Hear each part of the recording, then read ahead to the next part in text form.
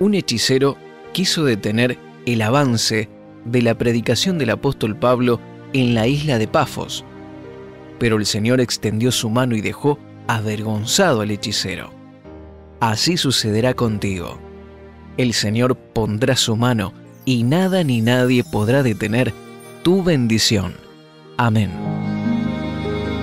En Hechos capítulo 13 versículo 8 al 10 dice, Pero Elimás, el hechicero, que es lo que significa su nombre, se les oponía y procuraba apartar de la fe al gobernador.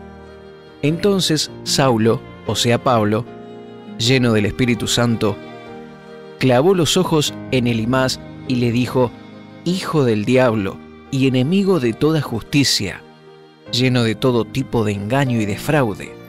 ¿Nunca dejarás de torcer los caminos rectos del Señor? Este hechicero intentaba impedir que una bendición llegara a todo el pueblo, ya que la persona a la que el apóstol Pablo quería predicar era un hombre clave, el gobernador de la isla Pafos. Intentaba persuadir al gobernador de que no recibiera quienes traían salvación para toda la isla.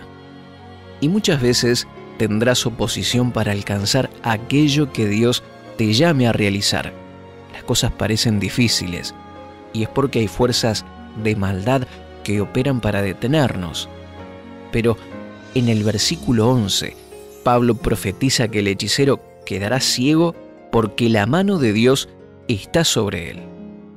Dios siempre protegerá a sus hijos para que alcancen la bendición. No es con nuestras fuerzas que ganamos las batallas, es porque la mano del Señor nos acompaña. Sin importar cuánta sea la oposición, la voluntad de Dios prevalecerá. Hagamos juntos esta oración.